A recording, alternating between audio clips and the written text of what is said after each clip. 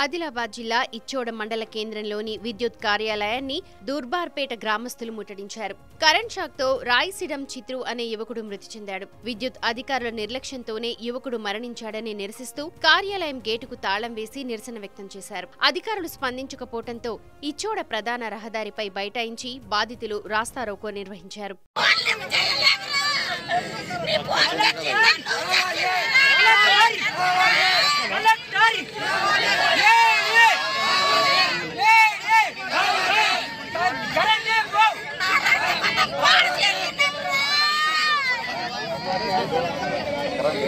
नज़र कुछ खोटी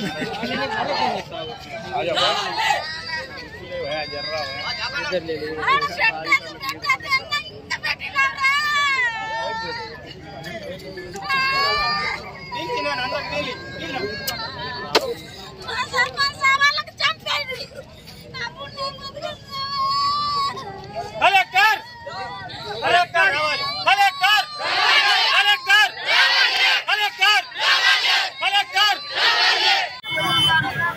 इधर अपना मामा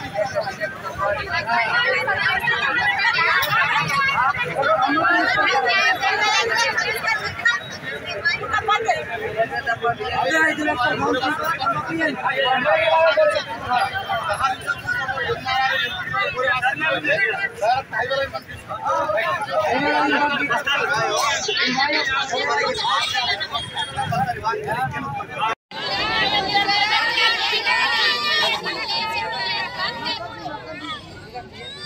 Collector collector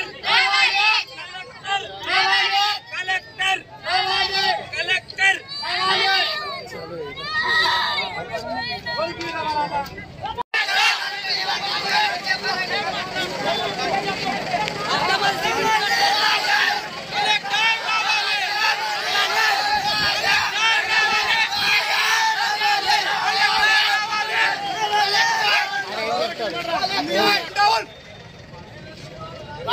चित्र